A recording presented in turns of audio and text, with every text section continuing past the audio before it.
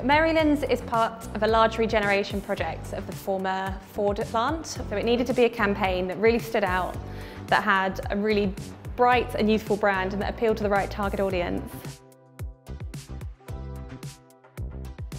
We were tasked with creating a brand, a marketing campaign and media strategy for Clarion's development Merrielands. Everything starts with identifying who our buyers are going to be, where they currently live, what their interests are, and also understanding whether we need to supplement these purchases for prospects further afield.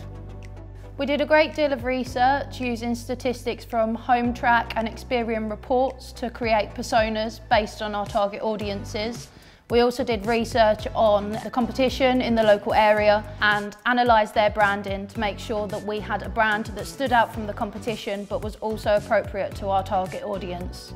We had such a positive experience with Focus that we've enjoyed how they've put together a brand concept and a campaign that we've then rolled that out and we've brought Focus on to look after our media buying and to look after our environmental branding strategy so that we'd put all of the projects into one place with one supplier who can own it um, and really love the brand and bring it to its best potential.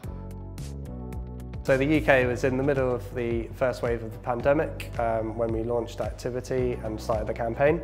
Um, so we focused all our activity on kind of in-home media channels. This involved a mix of digital as well as direct mail activity to reach people whilst they're at home. We've got a lot of positive feedback about the brand. It's been very well received, it triggered an enormous reaction, it got a great response from uh, buyers in the area and it got a huge volume of registrations.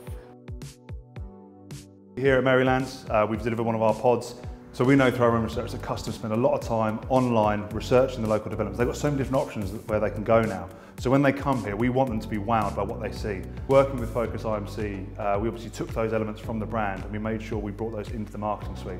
Part of everything we do is providing a seamless customer journey. So as soon as someone comes into the space, they know they're here at Merrielands for Clarion.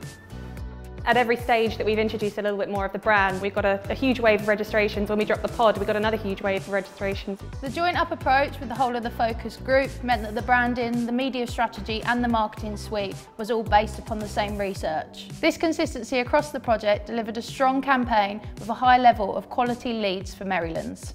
The benefits we've found from working with all three parts of the focus group has been that we've been able to have a very joined up strategy. So we don't have one area where brand is competing with how the media strategy want to roll things out. They work very cohesively together.